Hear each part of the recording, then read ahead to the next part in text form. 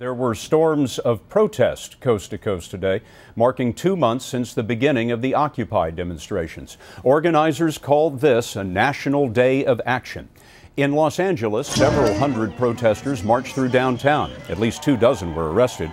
In Portland, Oregon, protesters held a sit in on the Steel Bridge before police dragged them off. And in Washington, they targeted the Key Bridge, blocking traffic for a time.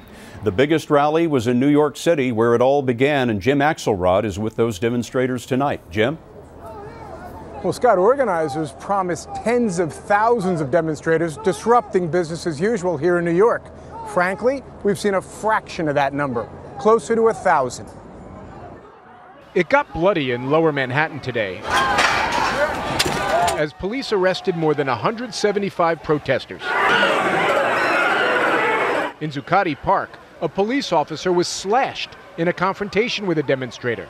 Buddy Bolton was a witness. And the police just stormed in and started grabbing people and throwing people to the, to the ground. We are the 99%. To mark two months since the start of the Occupy Wall Street movement, demonstrators promised to shut down Wall Street. They sat down in several intersections of the narrow streets of the city's financial district and were arrested for not staying on the sidewalk. But it was business as usual on Wall Street. No trading was disrupted. Protesters also threatened to disrupt subway travel. We witnessed a handful, not the thousands organizers promised.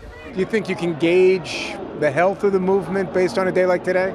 Uh, yeah, I think this is a big day as far as the movement goes. I think it's a it's a referendum on uh, whether the movement's going to grow stronger or peter out. Despite today's arrests and new restrictions prohibiting tents and sleeping bags in the park, demonstrators like Angelina Jimenez are defiant. The more they keep taking away, the louder we're going to be. You can knock us down, we're just going to keep rising back up. Occupy Wall Street! Perhaps, but in New York City at least, protesters are running the risk of alienating those they most need to support them. I don't know. I had an early day. I was kind of looking forward to some peace and quiet. Now, the main event is tonight a rally scheduled for the Brooklyn Bridge, which of course would disrupt rush hour. Again, organizers are talking about tens of thousands of protesters. However, so far, Scott, the number of protesters is in the hundreds. Jim, thanks very much.